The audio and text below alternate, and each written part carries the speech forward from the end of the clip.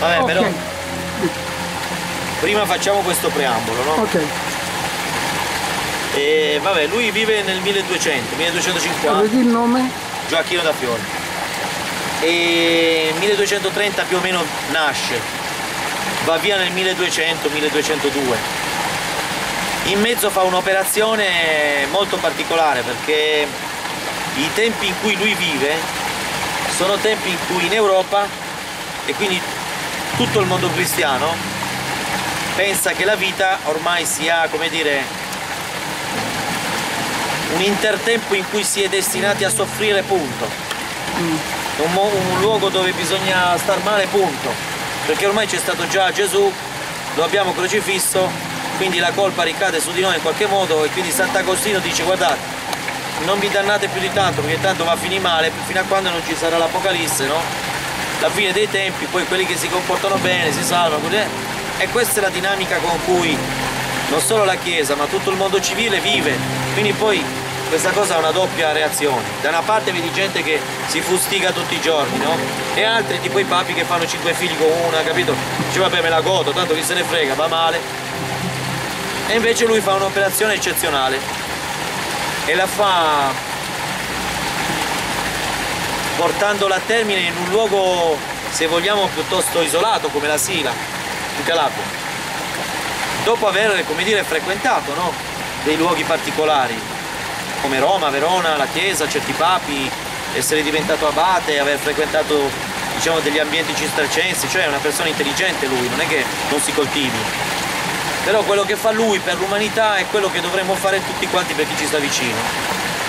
Lui utilizza diciamo, quelle, le dinamiche di, del sapere dell'ottava non per se stesso perlomeno, le vuole applicare alla storia dell'umanità. Cioè lui vede la sua storia e quella che sta vivendo l'umanità come una cosa pessima. Non va bene. Quindi lui crea, vuole attraverso poi l'interpretazione dei testi sacri, ma secondo me lo fa più che altro per dare autorità a un meccanismo che sta a monte dei testi sacri e crea una situazione temporale che prima della sua venuta non esisteva nel vivere quotidiano del mondo cristiano. Cioè il mondo cristiano non pensava che ci potesse essere un periodo di pace, di tranquillità, di benessere in cui tutti gli esseri fossero spiritualmente di un certo livello e questo livello che lui in qualche modo incardina lo definisce un mondo in cui per esempio persino gli uomini e le donne non hanno più bisogno di sposarsi. E addirittura non c'è più bisogno di una chiesa materiale ma spirituale. Quindi quello che vengono a sapere a Roma cioè no? è già lì. E, e, per e per testimoniare ciò fanno una serie di studi che durano un po' di decenni. Però io ho visto che dietro quegli studi c'è in anteprima una conoscenza di queste leggi che applicate testo, ai testi sacri gli danno una nuova linfa che va poi in qualche modo a incardinarsi, a incernierarsi verso un terzo periodo che lui chiama dello Spirito Santo in cui effettivamente qui in questa realtà ci sarà lo Spirito Santo, ci sarà la Gerusalemme celeste e poi si andrà di là cioè lui non è che dice dobbiamo per forza stare tutti male, morire, no. Noi qua avremo questo periodo. Per cui poi lui diventerà, diciamo, il portatore sano di tutti i rinascimenti. Per cui tutti coloro che si occuperanno di creare nuove società, che avranno perlomeno l'ideologia di creare una nuova, si rifaranno a lui. Per cui scusa, cioè, quello, che dice, quello che dice Sant'Agostino, lui lo ha contestato. Lo. Lo ha smentito, non è l'unico perché c'è tutto un lavorio di altri di altri, chiamiamoli così, scrittori, ma non sono scrittori, sono appartenenti al mondo cattolico, la patristica di quel momento là, dei grandi padri, e quello che ne scaturisce è una continua revisione no? di un momento che in qualche modo dura quindi 45 giorni nella storia biblica, no? una roba collegata a un passaggio del profeta Elia se non sbaglio, no Daniele. Ma lui, cioè, man mano arrivando a lui, lui dice no, non è esattamente così, è un periodo che non è manco come dire, quantificabile. Va bene? Potrebbe durare chissà quanto. Dopo questo settimo periodo ce ne sarà un ottavo, capito? Ottavo. E sarà il momento in cui andremo tutti nella Gerusalemme celeste, il campo, però intanto quello viene qua. Quindi lui dice che quella cosa verrà qua, ci sarà qua. È per quello che diventa così importante per tutto il mondo iniziato, perché lui crea uno, un archetipo del divenire positivo che sarà appunto di riferimento per tutti i grandi, perché loro sanno che il volere quella cosa schematizzata in quel modo, simbolizzata in quel modo, perché lui la disegna oltre che scrivere, ci sono dei simboli suoi che sono bellissimi, bellissimi. C'è, l'albero della concordanza, no? E poi va spiegato, ma non solo quello, in cui c'è questo percorso che è fantastico. Allora lui vuole, lui vuole per amore quella cosa nella storia dell'umanità, perché quella cosa nella storia dell'umanità sfrutta delle dinamiche, se vogliamo addirittura tecniche con cui il divino partecipa in questa realtà, se tu lo vuoi. Per cui per volere questa cosa, lui suddivide la storia dell'umanità in tre momenti, quello del papà, quello del figlio e quello dello Spirito Santo, che è la somma di tutte e due. Che è un po' come dire Horus, Iside, Osiride, Iside e Horus, no? È la stessa cosa, è la nostra Trinità. Mm. Quelle sono le tre energie principali che si esprimono attraverso il settenario, fuori e dentro di noi. Il 3 ti dà il 7, ma il 7 nasce attraverso l'8 e tutto si combina con il 9, le 99. Allora cosa succede? Che fondamentalmente lui vuole e imposte la sua vita creando un ordine, quello forense, che dentro la storia dell'umanità ci sia un momento di grandissimo ottimismo in cui saremo tutti così. Crea l'archetipo. Capisci che responsabilità si prende? Ed è una dimensione del gestire queste leggi iniziatiche che va oltre il gestirle personalmente. Quindi l'etica del gestire è rivolta a tutti, poi a lui per primo, perché poi crea delle situazioni così di vita, no? I luoghi di culto suoi saranno suddivisi in sette punti ben precisi dove ci sono sette tipi di società dove quella centrale è quella che si occupa di Dio ma che partecipa con il commerciante, con l'istruttore, con i militari cioè tutti quanti danno quello che sanno dare. E vanno a finire lì poi al centro dove c'è lo Spirito Santo. Poi bisogna spiegare cosa è lo Spirito Santo. Però questo schema lui lo elabora lo definisce a livello bibliografico ma lo schematizza a livello simbolico. Quindi questi, questi simboli che lui disegna, perché è un grande disegnatore, poi arrivano fino a noi. Noi ce li abbiamo.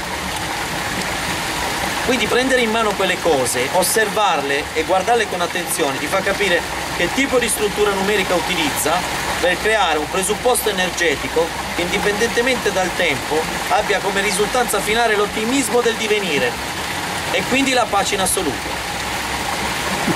Capito? Quello qua, è Gioacchino da Fiore. Qua, sulla terra. Qua, non là. Qua. E dopo che sei stato bene qua, vai là, ma sei stato già bene qua. Quindi lui dice, guarda, che se vai là e non sei stato bene, non vai bene là. Non ti trovi tanto bene. Invece se stai bene qua e sei cosciente di questa bellissima realtà, poi ne puoi ottenere un'altra ancora più grande, ma devi essere cosciente di questo. E c'è questa possibilità. Ed è un modo enorme, no? eccezionale di rivolgersi all'umanità motivo per cui immediatamente mm, diciamo 30 anni ma poi durante un concilio 50 anni dopo la sua morte bloccano un suo testo perché lo tacciano di eresia quel testo anche se definiscono lui un, cattolico convinto no? ma facendo questo creano una specie di, di anatema su quello che lui scrive per cui l'ufficialità non ci andrà mai più per quanto riguarda il mondo cattolico ma il mondo iniziatico sa cosa ha fatto, sa l'eccezionalità di quello che ha fatto, sia dentro il mondo cattolico che fuori. Quindi sarà sempre preso ad esempio, perché ha fatto un'operazione per l'umanità. Poi c'è la dinamica con cui fa l'operazione, cioè il simbolo da spiegare. E quello richiede un po' più di tempo, però lì dentro ci sono due percorsi in cui il 9 accompagnato al 7 si ripete due volte, 99 per cui vedi il 63 di Ching ripetuto due volte che va a interpretare queste tre energie per proporne una terza che deve ancora arrivare, ma la prima, la seconda e la terza coesistono temporalmente. Quindi vuol dire che lo Spirito Santo e quindi diciamo, il figlio di queste due entità energetiche è presente quando c'è il papà, il papà è presente quando c'è il figlio e anche lo Spirito Santo e viceversa. Quindi fondamentalmente lui annulla lo spazio e il tempo e lo propone come modalità dimensionale con cui creare la felicità, il benessere e la pace. Questa è la, eh, diciamo, la sua missione e la, e la, colpisce in pieno, cioè la raggiunge in pieno. per quello che mi è piaciuto. Però è venuto fuori dopo il Degarda, il Degarda usa quelle tecniche su di lei e diventa una grandissima. Cioè lei per fede, speranza e carità crea un mondo in cui lei parla con Dio, ma è un mondo vero, lui parla, lei eleva talmente tanto le sue qualità morali da creare una realtà in cui lei parla con Dio, è, ver è verità, cioè suo, nel suo mondo c'è Dio. Poi se tu leggi cosa si dice con Dio, dici che solo con te parla così, a me non mi dice mai niente, cioè fa un discorso che dura 30 anni, no? Però è bellissimo perché lei, suora di clausura prima e, bene, e, e benedettina dopo, pur dentro le mura, che poi avrà modo di insomma, superarle spesso perché diventerà una relatrice impressionante, crea un suo mondo, capito? Ma lo crea per lei, che poi ricade sugli altri. Invece la visione di Gioacchino da Fiore è infinitamente più grande perché crea un mondo per l'umanità. Lui dice cristiana, mettiamola così, però in quel momento lui dice quando avverrà questo, anche per esempio il mondo ebraico verrà ripreso, che loro ce l'avevano con gli ebrei perché secondo loro avevano ucciso. Eh. È abbastanza riduttivo per quanto riguarda queste due fonti religiose, ma siccome lo schema è estrapolabile da quelle due fonti religiose, è esportabile per tutte le, di le dinamiche religiose e temporali e in divenire. Questo è l'ottavo. Quindi se si vuole parlare di, di un'entità divina presa così, uno la può interpretare. Se la, la, si vuole vedere solo dentro il mondo cattolico non è interpretabile, perché non gli appartiene. Quindi questo bisogna fare. Cioè il futuro è fatto di una spiritualità che appartiene a noi tutti uno per uno. Individuale. Individuale. Che comunque mantiene una, una matrice che è quella che riguarda la natura e se tu accetti questo, la natura vista come vestito del divino, come corpo del divino, le stagioni come atteggiamento del divino, i colori della stagione come etica del divino. Quindi il verde è una cosa che si congiunge all'amore e all'immortalità, perché quello torna col verde, cioè e chi torna qua? Cioè se ti fanno tutte queste fregature io non ci tornerei, no? Ti mangiano, ti inquinano, ti corrono. No, quello torna. Quindi quello è un modo, no? e quello diventa la moda. Quindi è uno delle, dei, dei, riferimenti virtuali più importanti, non virtuali, virtuosi più importanti. Per cui quelle sette virtù che sono il cardine. Creare un, un, un, un periodo temporale indefinito, indefinibile poi, in cui fondamentalmente noi potremo raggiungere dei livelli eh, sì, spirituali, quindi di, di, pace mai raggiunti. Que questo è quello che fa Gioacchino da Fiore. Sta roba qua è estremamente pericolosa anche per il mondo cristiano perché non è gestibile con le dinamiche di allora, tanto meno con quelle di adesso. Quindi lui riesce a, a creare l'archetipo del, del, momento, del rinascimento, del, del valore del, dell'aspetto spirituale umano e inserire questa come, come proposta, come divenire nella storia dell'umanità. Questo è. Quindi fa l'operazione delle, dell'operazione delle operazioni, perché quella dinamica è sempre valida ed è valida ovunque, cioè non è solamente una, una tecnica valida, brutto termine, però non è una tecnica valida solo per il mondo cristiano, ma per tutti i mondi spirituali, ma soprattutto per tutta l'umanità. E, que è questo il messaggio suo. Per cui è un messaggio talmente grande che per la prima volta quelle che sono le tecniche iniziatiche di tipo così conoscitivo riguardanti l'ottava vengono allargate a dismisura. E siccome adesso c'è bisogno di ottimismo, penso che dare uno sguardo al Liber Figurarum, dove ci sono tutte le sue immagini, e, ed esaminare per esempio gli alberi della genealogia, ascendenti, perché sono, partono da Adamo e vanno fino alla seconda venuta di Cristo, ha senso. Può sembrare una cosa lontana da noi, ma invece quello è uno, è uno schema attuabile di un probabile futuro attuabile, ma sicuramente basato sull'ottimismo e l'opportunità che l'umanità può profilarsi, può, può darsi per vivere spiritualmente in modo diverso, sicuramente in pace. In pace? Sicuramente. Quello dice che la pace è possibile. È possibile tecnicamente, cioè per lui è una cosa, allora lui è, come dire, non è che ne parli solamente, dà seguito a, sua, a questo suo convincimento attraverso un ordine che è quello florense, e va bene. Però poi bisogna vedere gli insediamenti degli ordini florensi come sono fatti, perché sono suddivisi in sette zone ben precise. Ognuna di quelle zone è consegnata a uno dei talenti ben precisi che la società deve avere. Per cui c'è chi si occupa, c'è l'artigiano, c'è il commerciante, c'è il professore, c'è il frate, c'è, cioè, tutta questa gente utilizza i propri talenti finalizzandoli allo, allo, ad uno scopo, che è quello di condividere quello che noi sappiamo fare per ognuno per raggiungere Dio a modo suo.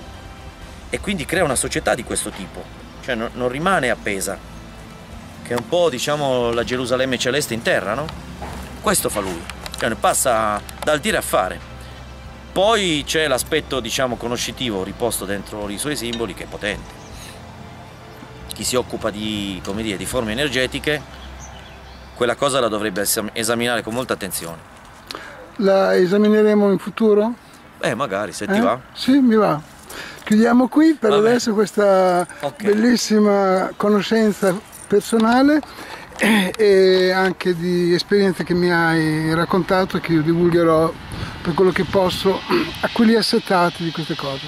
Vabbè. Michele. Ti ringrazio molto. Ti ringrazio ringrazio molto. È stato veramente è stato, è stato un piacere conoscerti, visitare la tua me. bellissima città, rendersi conto di cosa vuol dire un, un disastro come il terremoto che c'è stato e vedere comunque come uno come te ama la sua città e vorrebbe vederla rifiorire, nascere come il verde del, del prato. Vabbè. E ci vediamo, non è finito qui, ci vediamo il, 9 e l'8 ah, a Bologna. A Bologna. Ah, allora sì, vabbè, allora sì, ci divertiamo. Sì. Siamo già lì, siamo già lì. Grazie di nuovo. Grazie a voi, grazie Ciao. di tutte le Salute Carpe Oro. Sarà fatto. Franceschetti no. No, Più quello avanti. è lo sai, non, non Perché si dimentica. Poi è buddista senza capelli, è brutto. ok, ciao Michele. Ciao.